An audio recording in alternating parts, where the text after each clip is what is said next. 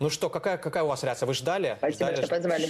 Что случится это все-таки после Дудя? Было такое ощущение? И- или наоборот думали, что ну как бы ну уже все вышло и что убирать-то?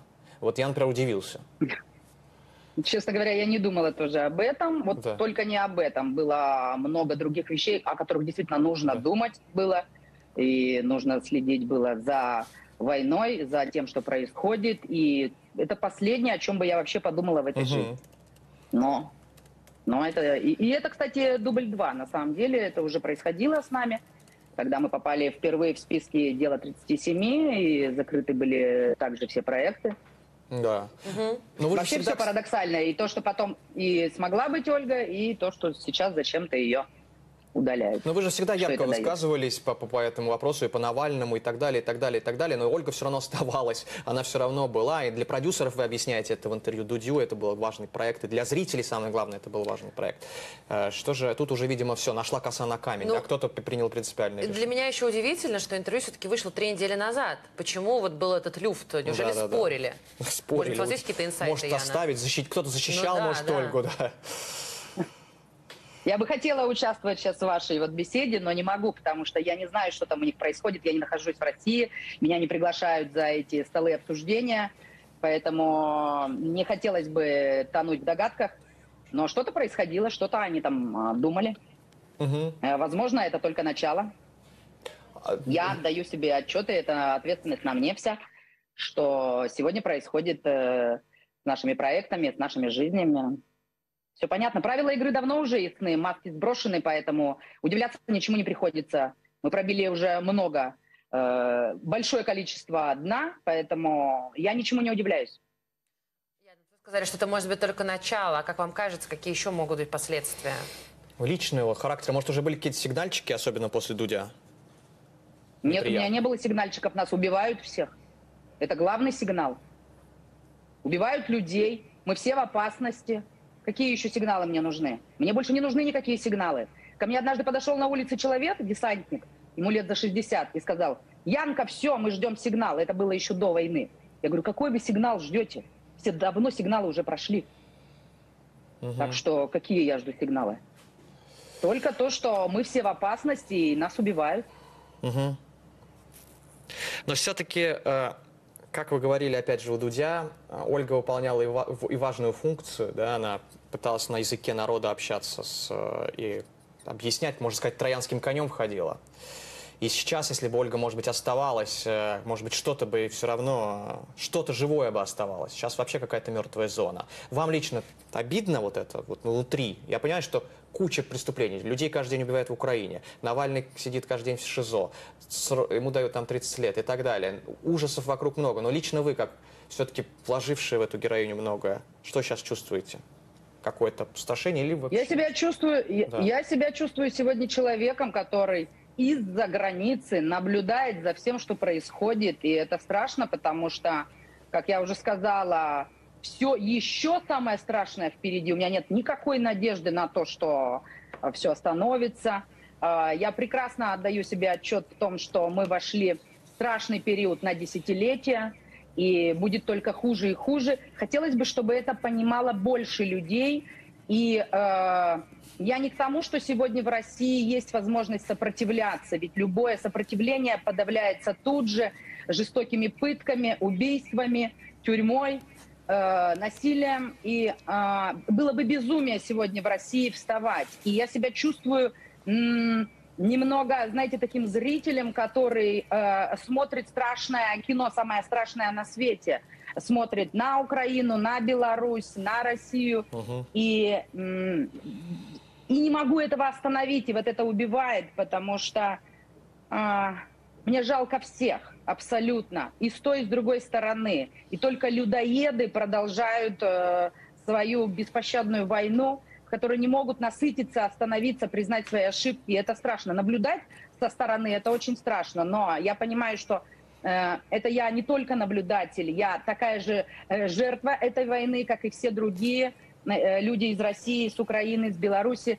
Поэтому все, что я могу делать, я буду делать. И Ольга — это такой же мой э, этап и такой же рупор, который я смогла сделать, э, смогла поддержать там наших, э, со своей прекрасной командой, которые тоже хотели сделать что-то доброе, хорошее, большое. И да, у нас это получилось. И то, что сегодня удаляют Ольгу, э, посты людей и частные комментарии, которые я получаю со вчерашнего дня, дают мне понимание того, что все было не зря, все правильно. И эту любовь невозможно забрать, уничтожить, и сердец не выдрать, и из памяти. Э, то, что всего лишь не будет Ольги на премьере, на платформе, это ничего не означает. Э, у нас все получилось. Счастлива, что участвовала в пятом сезоне. И понимаю, что скоро мы будем просто смотреть это на пиратских э, носителях. То есть, в принципе, все живо, мы есть еще. И будем. Ян, тогда позвольте мне спросить э, о вашем YouTube-проекте. Вы заявили о том, что он скоро будет. Э, вдруг вы нам можете рассказать какие-то новые подробности? Как раз про будет. То, да, потому говорите, что очень да. хочется поговорить и про да. будущее которое все-таки хочется верить. Да, ну, ну, э, слово «скоро» здесь преждевременное, то есть мы угу. действительно работаем, мы действительно готовимся, команды собираются с разных точек мира, это и украинцы, и белорусы, и русские участвуют в наших проектах. Э, где-то мы еще ведем переговоры, где-то мы уже приступили к написанию сценария. Это разные проекты. Я продолжаю работать э, в Россию. У меня больше нет возможности находиться в России, работать на телеке подавно или даже э, просто внутри России. Но вот, как говорится, за границей России я могу еще это делать и буду. Ну и да, ну скоро это, наверное, все-таки что-то осенью мы уже, думаю, выдадим. А, Яна, можете сказать, э, все-таки, вот вы говорите, реакции приходят, обратная связь есть по поводу Ольги той же самой. Что вас, может быть, больше всего зацепило, если сейчас можете вспомнить вдруг такое, что самая яркая реакция по поводу ухода Ольги, ну как бы с платформы? Да. Самая яркая реакция, конечно, это благодарность за наше счастливое детство, пишет молодежь. Я однажды э, сидела в бистро в Париже, э, пила кофе, и ко мне подошел молодой человек лет 16. Ну, то есть это еще было до выхода Ольги, но уже после начала войны. И вдруг произнес эту фразу, которую я никогда ранее в жизни не слышала в свою сторону. Спасибо за мое счастливое детство. Угу. Я ужаснулась и сказала, а что вы смотрели? А, Страну Оз, может быть? Да, да, авторское кино или там, не знаю, может быть, последний герой, но это все-таки молодой парень, а, такой прикольный еще, весь модный. И он сказал, нет, что вы, конечно, Ольгу. И сегодня, и со вчерашнего дня как раз вот главные комментарии эти для меня, потому что, значит, мы э, вложили что-то доброе и хорошее э, в наших детей. Это важно. Да. Это их страна, им, им здесь жить, а нам сегодня нести ответственность за то, что произошло с нашей страной. Я хоть и не вырос, мы потому будем... что мы примерно одного возраста. Э, Постарше. Я... Да, да, да. Но тем не менее помню, помню хорошо и удивился, как в последнем сезоне вырос сын ваш э, по сериалу. Угу. Забыл, как его, правда, зовут. Да.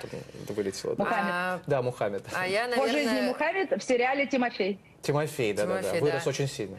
А я хотела попросить Яну, как закрыть наш разговор, наверное, э, все-таки репликой Ольги, который закончился сериал «Ольга», потому что, мне кажется, это единственное, что мы можем пожелать ну, я... друг другу. Можно, кстати, после моего последнего вопроса, важ... Э, важного, на мой взгляд, на сегодняшний день, и Яна, так как к этому тоже следит за судьбой Алексея Навального, э, сейчас начался процесс 30 лет грозит ему. И опять не допустили даже родителей вчера на этот суд. Что вы можете, какая у вас была вчера и сейчас реакция по поводу происходящего? А потом, да, вернемся к просьбе Полины.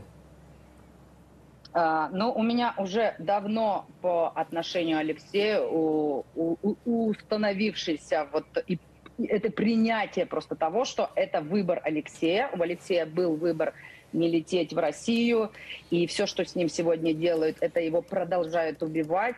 А, такой узник Путина, но м, для того, чтобы продолжать жить и двигаться дальше, мне нужно было принять решение Алексея вернуться в Россию. Это его выбор, и проходит он его достойнее всех, вообще э, всех людей, э, каких я только видела в жизни этот дух не сломить. И э, только благодаря Алексею, его пути, можно сказать, что я обратно вернулась в вот в эту, я не хочу говорить политику, это слово уже тоже какое-то для меня страшное, потому что политика нас привела к войне, но вернуться активно э, в жизнь, э, Какая у нас жизнь, господи, политическая, военная.